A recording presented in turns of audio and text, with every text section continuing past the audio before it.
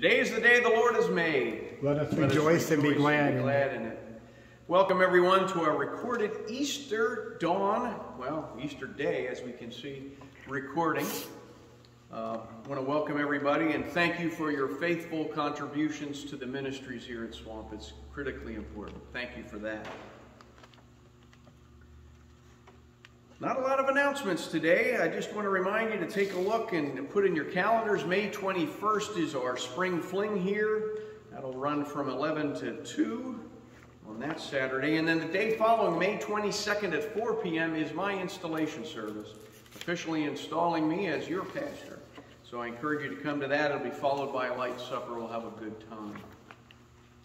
I'm unaware right now of any hospitalizations or severe health concerns. I do invite you to take again, take a look at the list in your bulletins of those on our prayer list and keep them in your prayers throughout the week. Birthdays this week. Monday, Laura Pennebecker. Tuesday, Judy Habecker. Wednesday, Sally Hagee and Kathy Hickernell. Thursday, Ron Arts and Josh Jones. And on Friday, Sandy Hawes.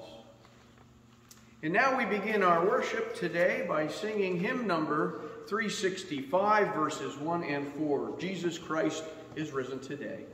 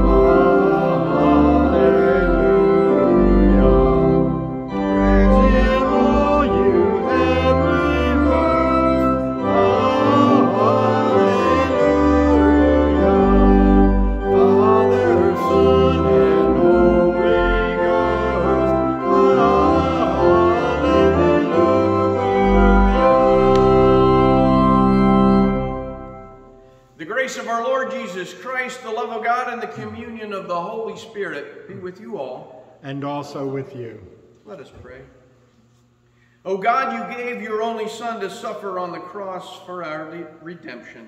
And by his glorious resurrection, you delivered us from the power of death. Make us die every day to sin, that we may live with him forever in the joy of the resurrection, through your Son, Jesus Christ our Lord, who lives and reigns with you and the Holy Spirit, one God, now and forever. Amen. Amen. Our first reading is from the 10th chapter of Acts. Peter's sermon, delivered at the home of Cornelius, a Roman officer, is a summary of the essential message of Christianity. Everyone who believes in Jesus, whose life, death, and resurrection fulfilled the words of the prophets, receives forgiveness of sins through his name. The lesson reads, Peter began to speak to the people. I truly understand that God shows no partiality, but in every nation, anyone who fears him and does what is right is acceptable to him. You know the message he sent to the people of Israel, preaching peace by Jesus Christ. He is Lord of all. That message spread throughout Judea, beginning in Galilee after the baptism that John announced, how God anointed Jesus of Nazareth with the Holy Spirit and with power. How he went about doing good and healing all who were oppressed by the devil, for God was with him. We are witnesses to all that he did both in Judea and in Jerusalem. They put him to death by hanging him on a tree. But God raised him on the third day and allowed him to appear, not to all the people, but to us who were chosen by God as witnesses, and who ate and drank with him after he rose from the dead. He commanded us to preach to the people and to testify that he is the one ordained by God as judge of the living and the dead. All the prophets testify about him that everyone who believes in him receives forgiveness of sin through his name. This is the word of our Lord. Thanks, Thanks be, to, be God. to God. Our second reading is from 1 Corinthians, the 15th chapter. Paul describes the consequences of the resurrection, including the promise of new life in Christ, to a world that has been in bondage to death. He celebrates the destruction of evil and the establishment of God's victorious rule over all. St. Paul writes, If for this life only we have hoped in Christ, we are of all people most to be pitied. But in fact, Christ has been raised from the dead, the first fruits of those who have died. For since death came through a human being, the resurrection of the dead has also come through a human being. For as all die in Adam, so all will be made alive in Christ. But each in his own order. Christ the first fruits. Then at his coming those who belong to Christ. Then comes the end, when he hands over the kingdom to God the Father, after he has destroyed every ruler and every authority and power. For he must reign until he has put all his enemies under his feet. The last enemy to be destroyed is death. The word of the Lord. Thanks be to God. Our gospel today is from the Holy Gospel according to Luke, the 24th chapter. Glory to Glory you, O Lord. Evidently expecting to find Jesus' corpse, some of the women among his followers go to the tomb with embalming spices. After a perplexing encounter with the empty tomb and angelic visitors, the women become the first to proclaim the amazing news of resurrection the gospel speaks. On the first day of the week at early dawn, the women came to the tomb, taking the spices that they had prepared. They found the stone rolled away from the tomb, but when they went in, they did not find the body. While they were perplexed about this, suddenly two men in dazzling clothes stood beside them. The women were terrified and bowed their faces to the ground. But the men said to them, Why do you look for the living among the dead? He is not here, but has risen. Remember how he told you while he was still in Galilee that the Son of Man must be handed over to sinners and be crucified, and on the third day rise again? Then they remembered his words, and returning from the tomb, they told all this to the eleven and to all the rest.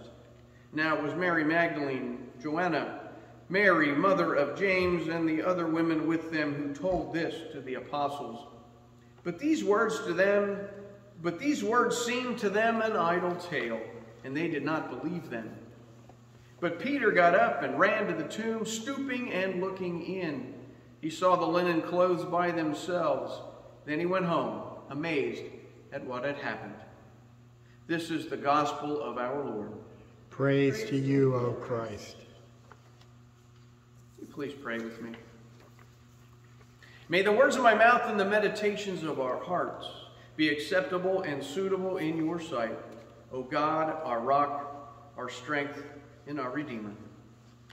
Amen. Amen. You know, back in 2010, my family took a mini vacation to Washington, D.C. to see some of the sights there.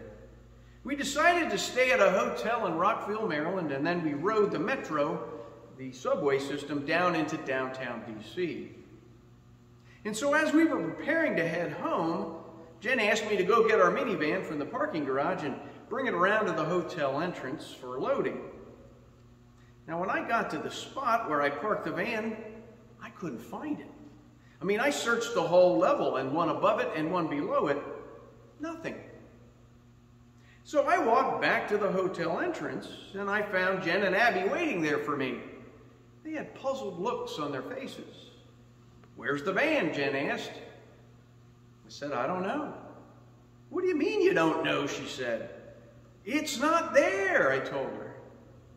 Well, in disbelief, Abby decided to drag me back to the garage to look for it because obviously I didn't know what I was doing. Well, we searched every space on the level where I parked the van and no van, and we looked everywhere. We looked high and low, but we found no van. What we did find were the rear two rows of seats in some other spot on the other side of our level. So the conclusion we reached is that van was stolen.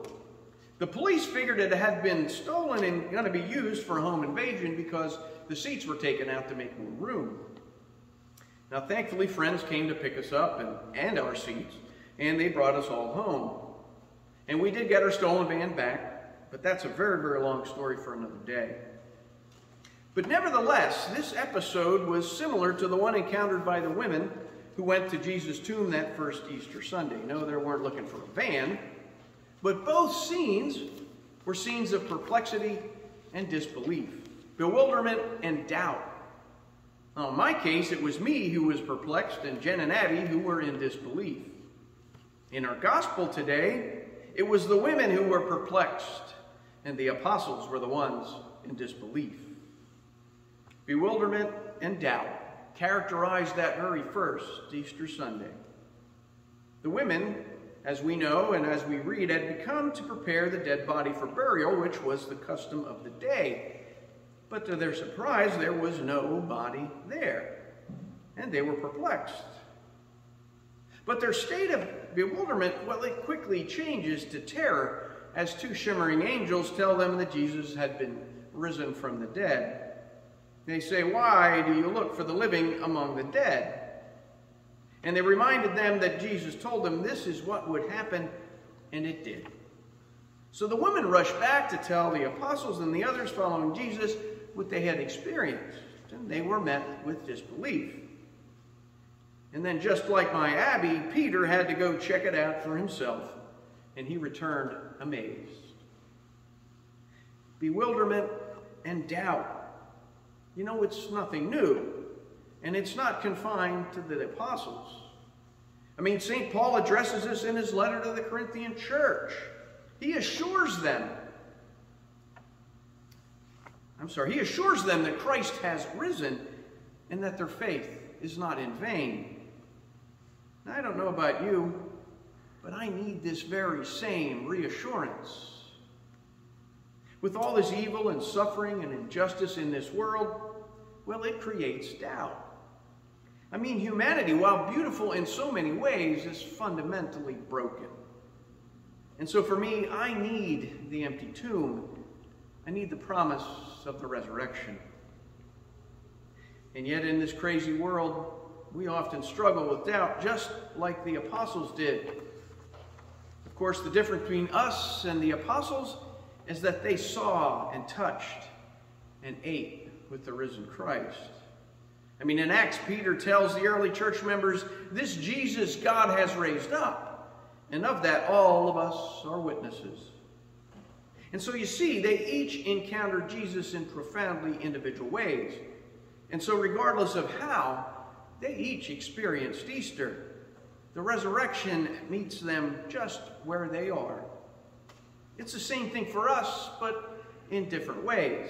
I mean, we come to the empty tomb as ourselves, for good or for ill. We carry all our luggage with us, all those hurts, fears, disappointments. And we encounter the risen Christ in the particulars of our own lives. Therefore, we need to seek and find in the empty tomb the hope we need for our own struggles, our own losses, our traumas, you name it. And so when we exclaim, He is risen, He is risen indeed, we do so in the fertile ground of our own stories, our own hearts. And it all begins in that fertile graveyard where we linger long enough in our desolation and our loneliness, long enough to hear the sound of our own names spoken back to us in love. Like Mary's testimony, Ours only ring true when they originate in the radical, intimate encounter, however mysterious and quiet that that may be at times. Now, I can say for me in my life, Those encounters with Christ occurred in the shadows of loss and pain and struggle. Those times when all seemed lost and the way forward could not be seen. In those barren places where the usual platitudes fall flat and easy answers prove inadequate. It's at those times when I lingered in my feelings of emptiness, darkness, and drought that Jesus reveals himself and brings clarity, hope, and healing. And it was not in any way that I was seeking nor expected. And it came through events or through others, often those I least expected or even wanted. And when I was confronted, sometimes I ran like Peter did. Sometimes I witnessed like Mary. Either way, when Jesus speaks my name, he erases my old, worn ideas about him, and I recognize both him and myself anew. Folks, I think the lesson for all of us on this Easter day is to ask ourselves anew why is the resurrection of Jesus essential to me? Why does Christ rising look like in my life? Why do I believe? Why do I believe? And if you need to wait a good long time to receive your answer, well, take heart. This type of revelation is neither automatic nor is it easy, and it requires risk. The risk of hanging on to hope when all else that we have tried has failed. You've heard it before. Faith is a journey. And I think it's helpful for us to reflect on St. Anselm of Canterbury's observation that the Christian life is faith seeking understanding. Indeed, as the renowned preaching professor Fred Craddock has observed, matters of faith are never finally proven, nor is faith generated by an incontrovertible argument. And so I would argue that faith is felt that it's experienced. It's fed by word and sacrament. It's cultivated by the joys and struggles of our life, producing fruit in ways we just never quite expect. And so wherever you may find yourself on this Easter day, be it in doubt or darkness, or in joy or in light, the invitation we receive begins right where we find ourselves because the resurrection grows in us wherever we are. It roots us and roots itself in us. And often we don't realize it until we look in the rear view mirror of the graveyards of our lives. In those retrospective moments, that's when we discover our salvation and our Savior. And so my hope for you all this Easter is for the Christ who rose in the darkness to lead us all into new light, new light, and new hope. May we experience him in the dimly lit places, the shadowy dark corners of our lives. You know, those hard places in which we find ourselves stuck. And may we linger long enough at the tomb until he calls our names and sends us forth to share his good news with the world in word and deed. And when we are asked, why Christian? May our answers be authentic and honest and hard-earned. May they be testimonies of hope and struggle, welded together to form the witness of our truth. Happy Easter, folks. Christ is risen. Christ is risen indeed. Live your lives as the precious resurrection people that you are. Because that, my friends, is the good news in Christ Jesus for us today and every single day of our lives. And so now may the peace that surpasses our human understanding keep our hearts and our minds in Christ Jesus. And let all God's people say, Amen. Amen.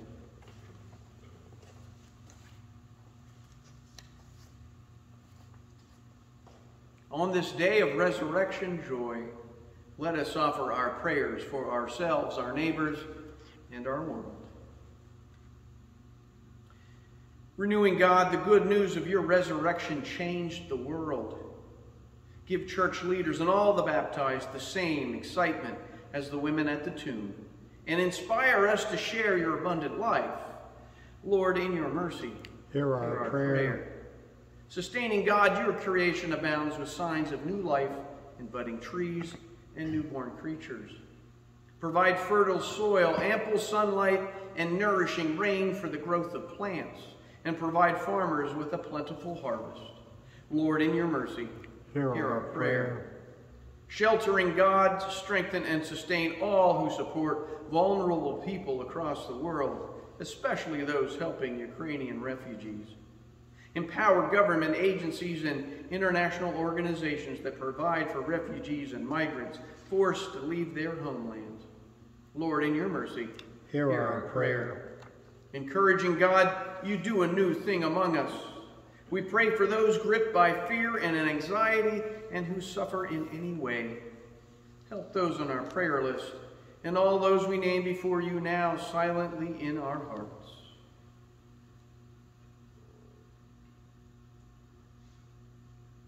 Send us as your healing presence to places of hunger, pain, illness, or overwhelming sorrow. Lord, in your mercy, hear our, hear our prayer. prayer. Surprising God, you offer endless ways for us to delight in your grace.